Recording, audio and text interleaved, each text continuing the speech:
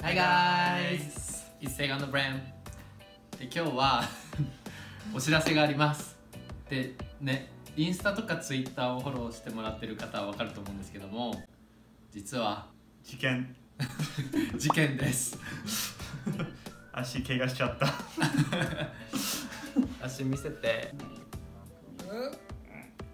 ブレンが足怪我しちゃったうん見えた？見えた。そうなんで怪我したの？なんかね階段バカだけど階段を踏み外した。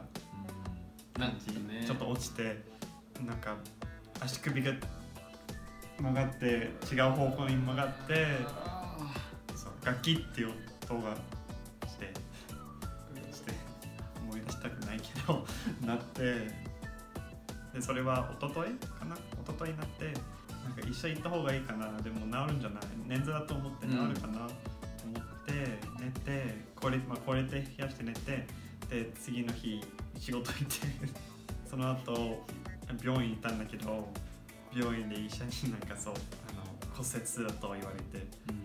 びっくりしたけどでしかも2箇所？同じ骨の2箇所の骨折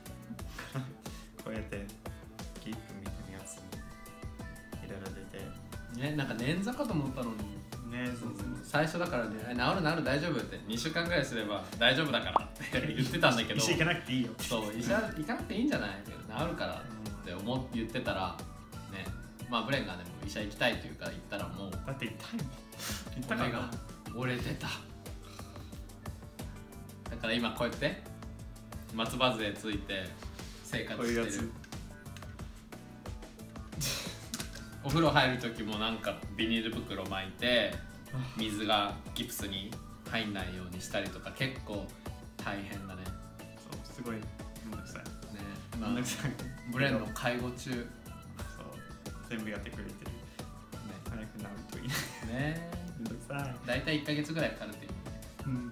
そうなんかウォルマート行くとねなんか足が悪い人用のなんかこういうなんていうんだ自動電動車椅子的なものがあるんだけどねそれ乗って買い物しなきゃいけなくなっちゃったね。まさか使う日が来るとはっていう感じ。恥ずかしいけど使わないとずっとこれやってるとすごい疲れるし、手が痛いし早くなると多分1ヶ月ぐらいかかるって言われたんだけど。でもいろんな人がねブレンに「早く治って」ってメッセージくれたからさ。そうだね。ありがとうございます。心配してくれて ねなんかみんな「ブレン大丈夫?」って言ってたけどね本人は大丈夫みたい。大丈夫だけど骨折だったね。骨折だったし。じゃあ今日は短いんですけど今日はちょっとお知らせということでなんかみんなからいろいろうん。なんか心配の声をもらったので今日はちょっとお知らせ動画にありがとうございます。なります。